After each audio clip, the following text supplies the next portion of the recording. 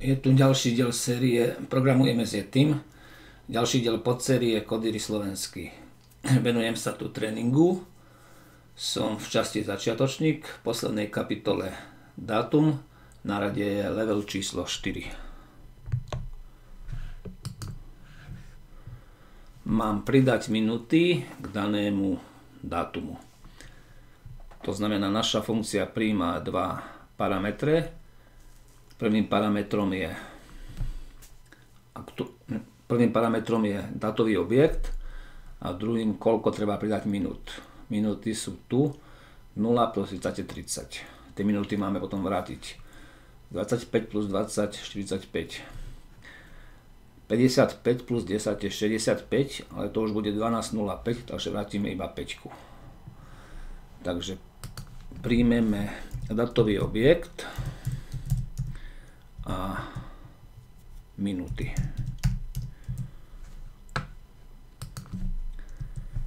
Najskôr musíme zistiť, koľko minút ukazuje ten datový objekt.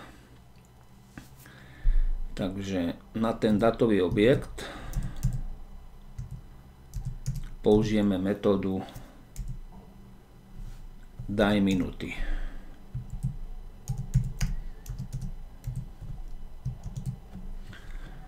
Vyskúšame si, či toto funguje.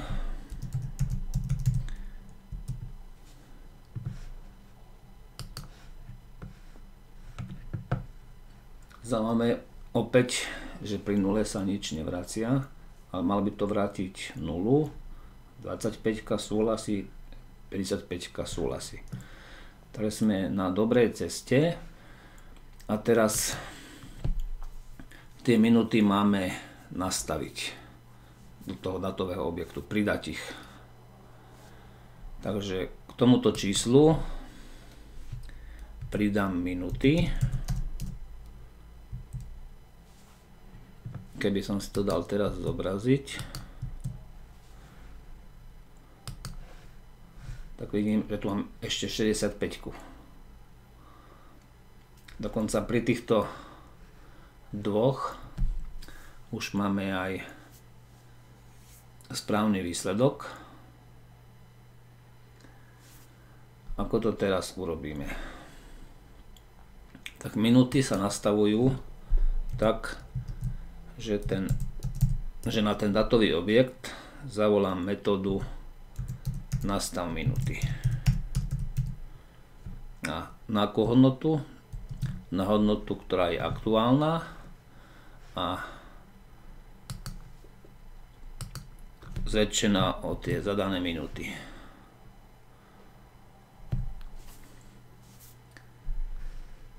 Keď dáme teraz to odoslať, tak sa nám vracia celý objekt. Tento čas, čo tu vidíte, je čas v milisekundách.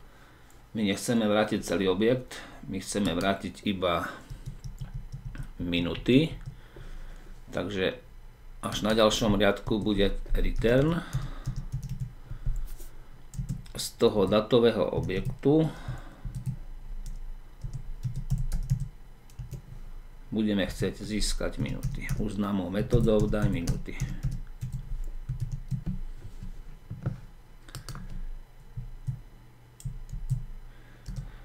Bodkočiarka na zlom mieste. Dáme si to vyhodnotiť a všetko je v poriadku.